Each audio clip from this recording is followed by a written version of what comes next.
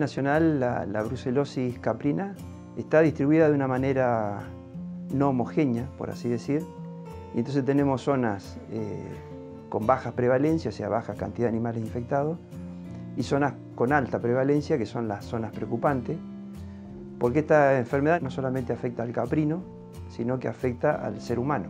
Nosotros allá por el año 2005 hicimos un relevamiento eh, sectorizado de toda la provincia de, Mendoza, en un trabajo entre la provincia y el INTA, y ahí lo que vimos que la zona norte de Mendoza, por ejemplo, tenía mayores prevalencias que la zona sur.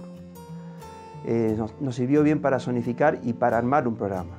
El proyecto básicamente planteaba la vacunación masiva durante 10 años de todos los caprinos de la provincia de Mendoza, trabajando con una alternancia porque no alcanzaban los medios, digamos. Entonces lo que hicimos fue, un año se trabajaba en el norte de Mendoza y otro año se trabajaba en el sur y así se iba alternando. Entonces todos los años, año por medio, digamos, se volvía a vacunar en la misma zona.